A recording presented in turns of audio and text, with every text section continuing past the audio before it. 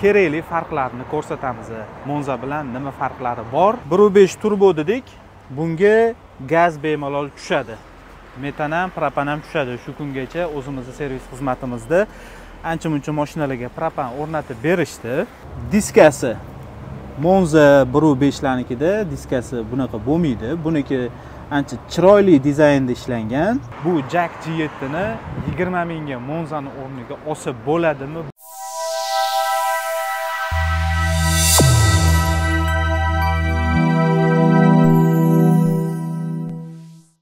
Monza monza dedinglar o'rtoqlar monzalarni ham o'n olti yarim ming o'n yetti minglik paytida olinglar deb reklama qilgan paytimizda. Yo'q qimmat ekan dedinglar olmadinglar hozir mana monzalar ham yigirma mingga chiqib ketdi. Ho'p bugun endi monzani ozgina esdan chiqarib turamiz. Ko'p emas ozginaga bugun sizlarga monzaga bitta raqobatbardosh bo'ladigan bemalol monzani narxida boya aytib o'tdim monza ham yigirma mingga chiqib ketdi dedim. Yigirma mingga to'g'ri keladigan ya'ni monza bilan bemalol kurasha oladigan raqobatda. Jack g 7 sedani ya'ni liftback. Buni hozir bitta sizlar bilan obzorini ko'rib chiqamiz boshqalarga o'xshatib kerak emas gaplarni qilmaymiz iloji boricha sizlarni ham vaqtinglarni tejash maqsadida qisqa qisqa kerakli farqlarni ko'rsatamiz monza bilan nima farqlari bor va bu jack g 7 ni yigirma mingga monzani o'rniga olsa bo'ladimi bo'lmaydimi? Shuni ko'rib chiqamiz hozir. Ketdik yomg'ir ham boshlab yubordi. Tezroq qilib ko'rsatishga harakat qilamiz. Birinchi navbatda motor qismiga keladigan bo'lsak jack g 7 ni motori dons motor ko'rsanglar bo'ladi. Bir besh turbo motor. Monzada bru besh atmosferniy bo'ladi. Endi buni ot kuchiga keladigan bo'lsak jak g 7 da bir yuz ellik ot kuchi monzada esa adashmasam bir yuz o'n uchmi? Bir yuz o'n to'rt ot kuchi edi. Bu degani ikkalasi solishtiradigan bo'lsak buni motori kuchliroq hisoblanadi. Oldi qismiga ham e'tibor berasizlar o'ziga yarasha chiroyli dizaynda ishlangan. Buni endi anavi timsoh akula yoki boshqacha hayvonlarga o'xshatmaymiz. Shart emas. Lekin monzaga nisbatan o'ziga yarasha chiroyli dizaynda ishlangan oldida E, kamerasi kamera uchun joy qoldirilgan.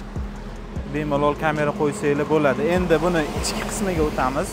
Salonni ham bitta ko'rsatib o'taylik.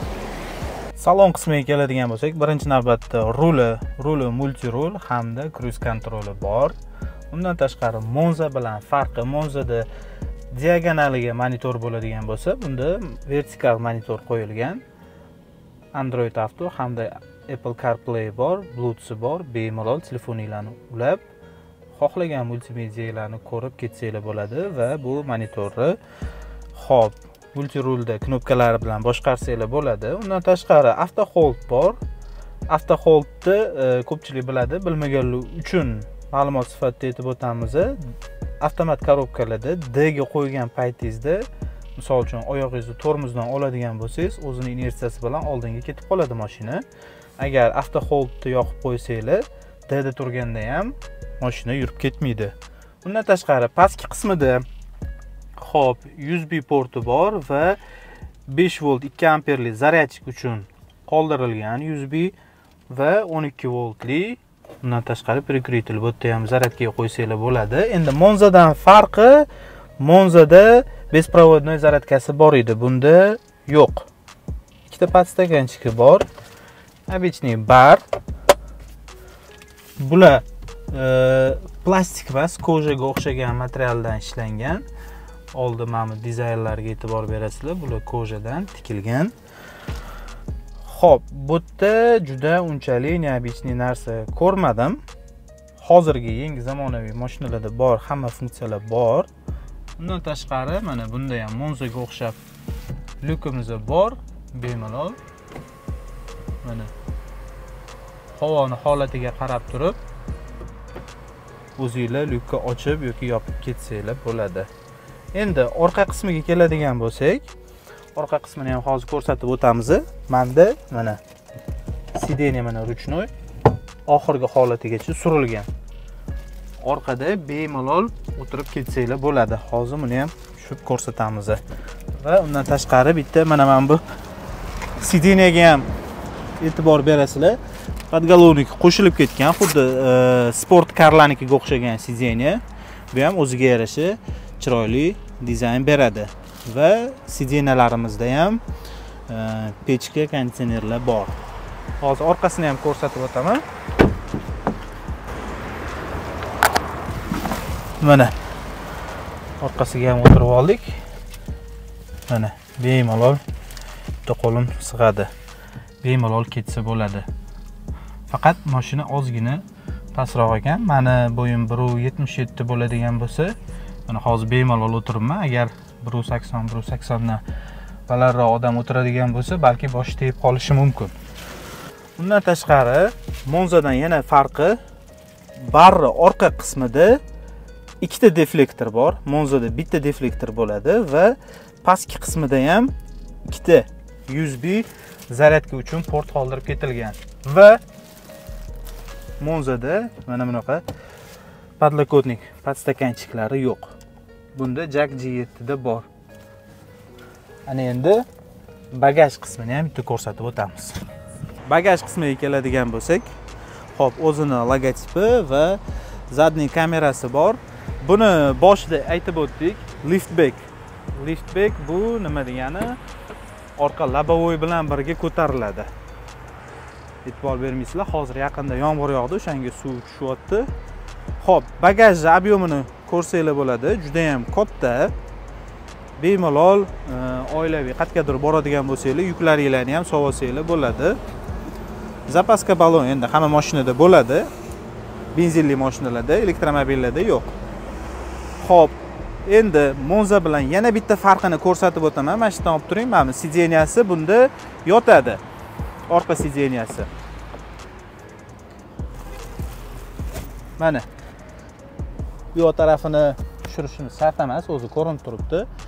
Bemalol uzunroq narsalarni endi yukinglar bo'ladigan bo'lsa passajir bo'lmasayu lekin yukinglar ko'proq yoki uzunroq narsalar bo'lsa bemalol orqadan solib joylab qo'ysanglar bo'ladi. Bagaj yana ham kattalashadi. Bir besh turbo dedik. Bunga gaz bemalol tushadi.